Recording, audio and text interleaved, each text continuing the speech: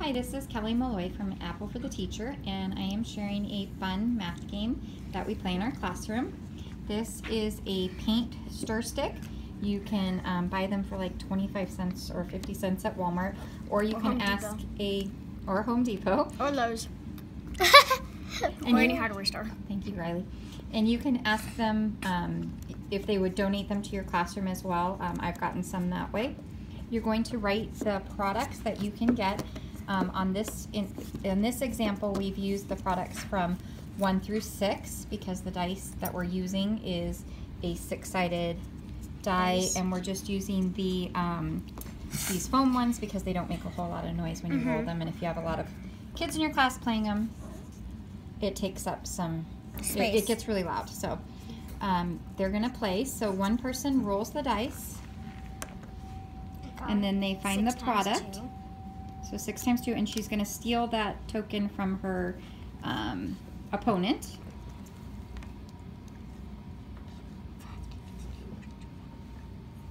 Twenty-five. Ooh, check that again. So what are you multiplying? Five. Five Two. times. Two. Okay. Ten. Uh huh. She's gonna take that from her opponent. Four times five. Make sure you take it from your opponent. And they are trying to get as many pieces away from the opponent as they can.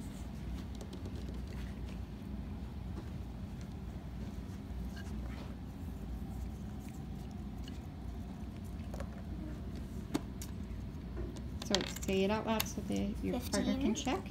So what times what equals 15? Three times five. Okay, perfect. One times five is five. Good job, Taylor. Way to be encouraging. Good job, Riley. I get a point for Gryffindor. Yes, you get a point for Oh Gryffindor. yay! Um, six times two. It's Oh. twelve. Wait, So do I roll again? you said six times two. Oh. three times two. So three times two is six. There we go. I don't really know my multiplications that much, Miss Malloy. So are you practicing? Yeah. Thank you, Kennedy. So what do you have there? So six times four.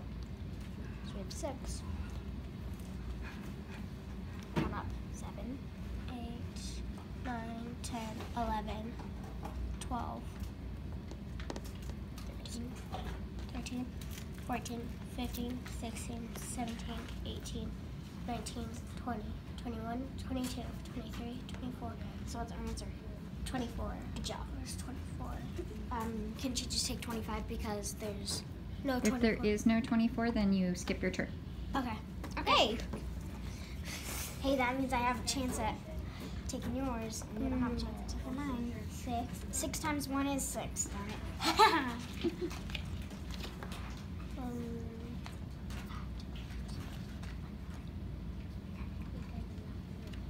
So what was the question? The math fact? five times six is thirty. Perfect. Okay, and you can easily differentiate this game. You can do it for addition. One second, taking. Oh, oh, is So for addition, or you can use multiplication. multiplication a little bit harder um, with different dice that have higher numbers on them. Look at this number. Right there. 132. How would you get that? Oh, How would like, you get 132? Um, 132, so times something. Here, Riley. Well, while she figures it out, that's this Yeah. game, so we just wanted to share it with you. Thank you. Here you go.